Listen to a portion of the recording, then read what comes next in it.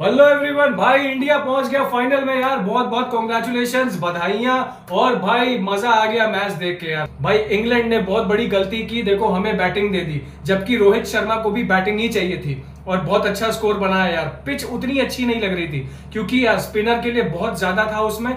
और भाई, कुछ बॉलें नीचे भी रह रही थी। बहुत मुश्किल था खेलना, लेकिन फिर भी रोहित शर्मा यार एज अटैकिंग यार एज ऑलवेज 57 बना यार। सूर्य कुमार ने भी 47 अनफॉर्चुनेट रहा कैच हो गया। कोहली का यार, ये वर्ल्ड कप में कुछ खास नहीं चल पा रहा है। लेकिन ये भी है क्योंकि कोहली का नंबर सही नहीं है तीन नंबर पे खेलता है। लेकिन अब, क्योंकि उसको ओपनिंग करनी पड़ रही है तो शायद उसका शायद प्रेशर हो। प्लेयर तो बहुत बड़ा है यार। लेकिन ठीक है, कोई बात नहीं। बिना कोहली के भी टीम बहुत अच्छा परफॉर्म कर रही है यार। सबसे अच्छी बात यही है कि उस पर ना डिपेंड होकर बाकी लोग भी अच्छा परफॉर्म कर रहे हैं। और भाई, पांड्या से लेके ऋषभ पंत और सूर्य कुमार सब अच्छा खेल रहे हैं। सब टेक्निक भी दिखा रहे हैं और अच्छा स्कोर कर रहे हैं यार। जितना फाइटिंग टोटल होना चाहिए, वहाँ तक जा रहा है। और यार बॉलिंग देख लो। बॉलिंग में यार अक्षर पटेल ने जो गेटवे खोला है यार बटलर को जो कैच करवाया, पीछे डर लग रहा था कि यार पंत पकड़ पाएगा नहीं, क्योंकि यार, पिछले मैच में पैर लड़खड़ा गया था और कैच छोड़ दिया था, उसके बाद रोहित ने कुछ उसको समझाया भी था। लेकिन इस बार बटलर को आउट किया। बहुत की प्लेयर था यार बटलर। अक्षर पटेल ने तीन विकेट लिए यार, और बुमराह। बुमराह ने भी बहुत अच्छी बॉलिंग करी, हालाँकि शुरू में विकेट नहीं मिले, बाद में मिले। एक तो आर्चर को भी आउट किया उसने एलबीडब्ल्यू लास्ट बॉल में।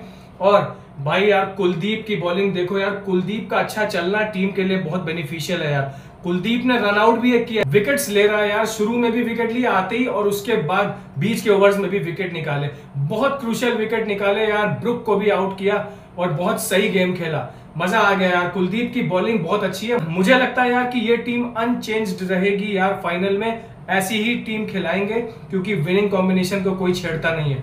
और भाई इंग्लैंड कभी भी नहीं लगा कि इस चेज में आगे है। किसी प्लेयर ने कोई खास नहीं बनाया। एक आध दो छक्के छोड़ दो तो किसी प्लेयर ने कोई बहुत ही इंपैक्टफुल इनिंग्स नहीं खेली, कि बहुत अच्छे स्ट्राइक रेट से खेल रहे हो। उनके मतलब की पिच भी नहीं थी। वो ज़्यादातर फ्लैट पिचेस पे ही छक्के चौके और बैस बॉल खेलते हैं। तो भाई, असली बैस बॉल तो हमने दिखाया अटैकिंग खेल के। और भाई, अब मिलेंगे साउथ अफ्रीका के साथ। साउथ अफ्रीका अनडिफीटेड है। इंडिया भी अनडिफीटेड है भाई। सिर्फ़ एक गेम इंडिया ने खेला नहीं था जो बारिश की वजह से नहीं हुआ, जो कनाडा के साथ था।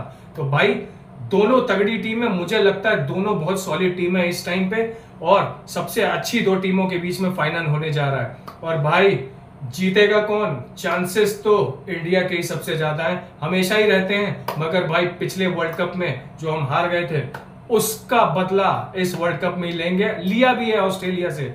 दो तरफा। भाई, इंडिया ने भी हराया, अफ़गानिस्तान ने भी। हालाँकि अफ़गानिस्तान नहीं पहुँचा, वो तो अलग बात है यार, अच्छी टीम है। लेकिन आज इंडिया की बात करो तो भाई, फाइनल के लिए तैयार रहना बहुत बड़ा मैच, बहुत बड़ा धमाका। भाई इंजॉय करना और उसके बाद जब इंडिया जीत जाए तो निकलना गाड़ी लेके बाहर यार। और इंजॉय और सेलिब्रेट करना, मज़े करना डांस करना। और फिर मिलेंगे फाइनल मैच के बाद। गुड बाय जय हिंद एंड टेक केयर